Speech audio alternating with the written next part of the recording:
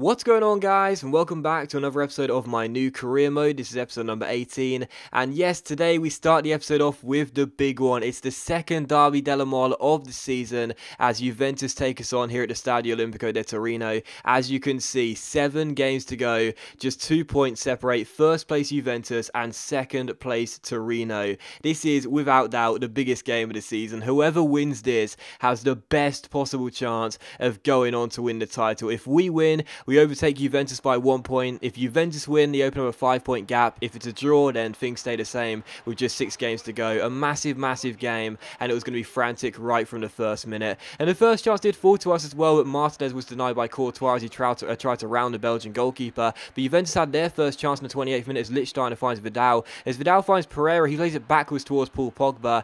And there are some players that you just can't stop. And when they're feeling it, they're really feeling it. And Paul Pogba seemed to be feeling it right from the first minute. In the 28th minute, he opens the scoring here at the Stadio Olimpico di Torino with an absolute thunderbolt. And it was just one of those goals which you just have absolutely no chance of stopping whatsoever. Because as Pereira plays the ball backwards outside the area, I was wondering what on earth he was doing. But as he found Paul Pogba, I realised he knows that the French midfielder can strike him from range. But on his weaker left foot, with pressure being put on him from uh, Benassi, I think it was, he still manages to rifle it with so much power, so much accuracy to beat the best goalkeeper in the league this season in terms of clean sheets for Delhi into the into the, uh, the back of the net, courtesy of the ball canning off the far post there, the inside the far post, as it goes across the goal line into the other side of the net. Paul Pogba makes it Torino nil, Juventus one, and it's the worst possible start. Less than half an hour on the clock, and already our rivals are one goal up here at the Stadio Olimpico de Torino. So worst possible start, Torino nil, Juventus one. But we had a good chance here in the 37th minute as Martinez, keeping his place ahead of Quagliarella, goes down the right hand side,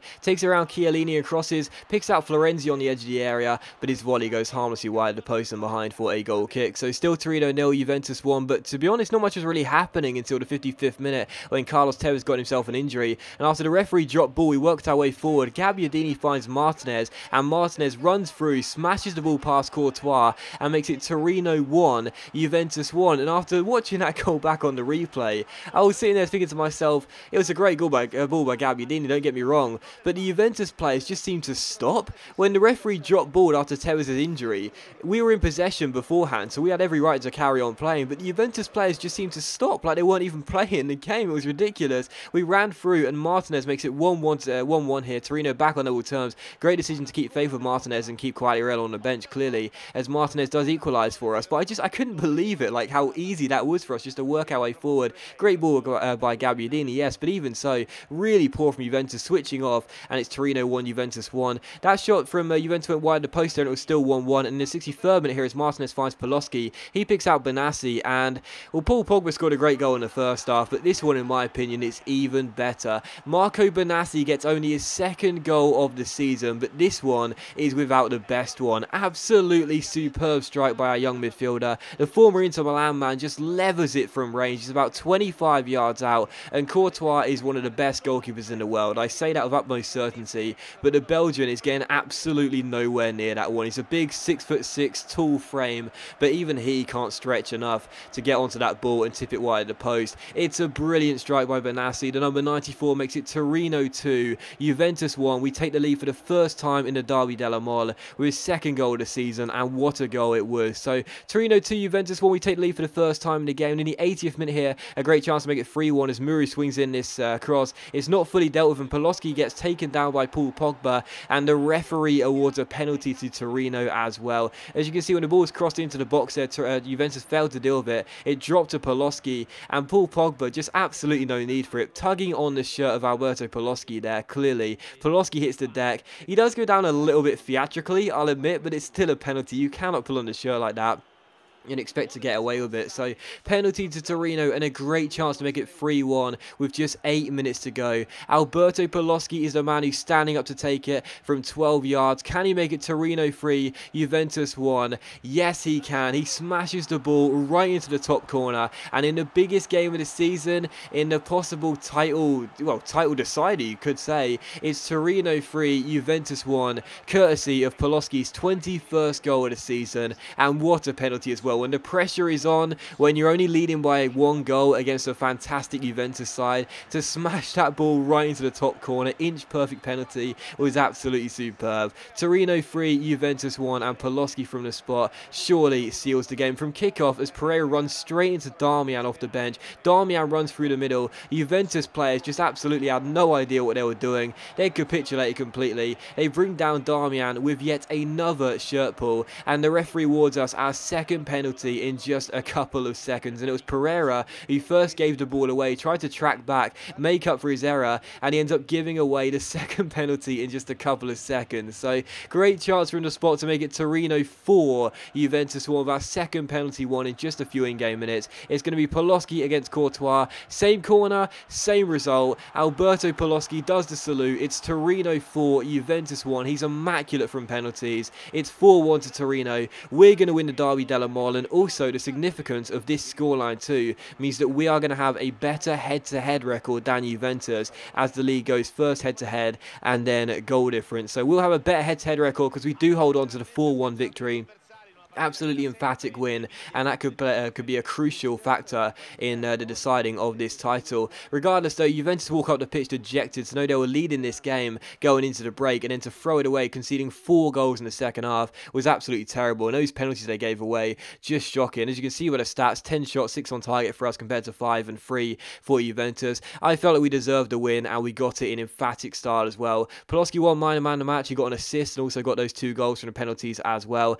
and it does mean we have overtaken our rivals Juventus by a single point with just six games to go. And a reminder, due to the head-to-head ruling, Juventus will need to make sure that if they do want to win the title, they have to win by at least one point. So delighted with that game. It, could not have gone better. Like seriously, sometimes in my career mode, you guys will know, I'll big up a game and it won't really live up to the expectations. Like it'll be a boring nil-nil or one side win with a late header in you know the, the 85th minute or something. But this game was fantastic. It had absolutely everything in it a really awesome game, and I'm so pleased we did manage to get the win. We take on Palermo, though, for the second and final game of today's episode here, and as you can see by the team, I had to make a lot of changes as well. Due to fitness reasons, this game was being played in midweek. That Juventus came, uh, game came on the weekend. This was being played in midweek, so had to make a lot of changes, had to make a lot of uh, rotations to the side. One of those players coming in was Quagliarella. Martinez scored against Juventus on the weekend, but he'll get rested for this game as Quagliarella came back in. Desperate to get himself back in the first team, and he had the first chance of the game as well.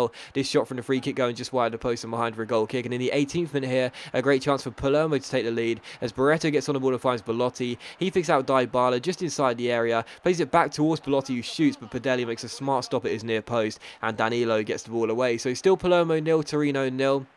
Just past half an hour mark though, another good chance at the home side as Beretti plays a lovely ball through towards Belotti, but his header goes just wide the post and behind for a goal kick, so still nil-nil. But Palermo were really feeling it in the first half. and He had another great chance here in the 34th minute. Again, it was Belotti causing me problems here. He picks out his man, he plays it back towards Barreto who strikes, and it's a good save by um, Padelli, and we get the ball away with Lazaro. So still nil-nil in this game, but they were looking really good, Palermo, and you know they were sensing the fact that we were not only tired for the players that are out there, such as Maksimovic and Danilo, Paloschi as well, but also the fact we were playing with a weaker squad, having to make so many changes, they were exploiting that. I wasn't really feeling confident with this Torino oh team, and they were the ones that were getting all the chances in this game, but it was still nil-nil, so they just couldn't hit the target. In the 76th minute, they had a good chance from this free kick, though, to open the scoring and make it 1-0, just 13 minutes before the end. Really good opportunity here as Vazquez stands over it. He ends up going for goal as well, but what a big defensive play this is by Lazaro. I put him into the team, I gave the young man a chance who came in in the January transfer window, and what a big defensive play that was. He gets on the line for the free kick and deflects it wide of the post.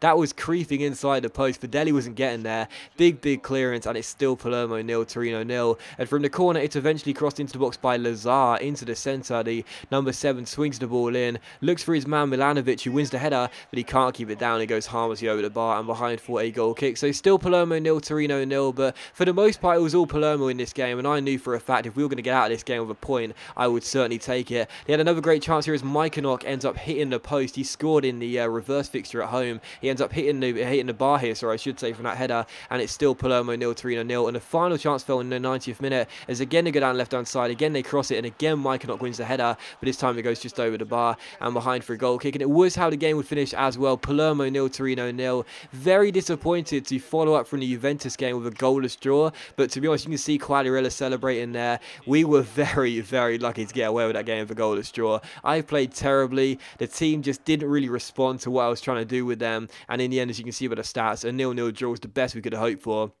and I'm very pleased we got it. It's no real surprise that my man the match went to Padelli. But that does end the episode, guys. So as always, big thank you for watching the video. Really hope you have enjoyed it. If you have enjoyed the episode, then please do leave a like, and I will see you for the next episode of my new career mode very soon.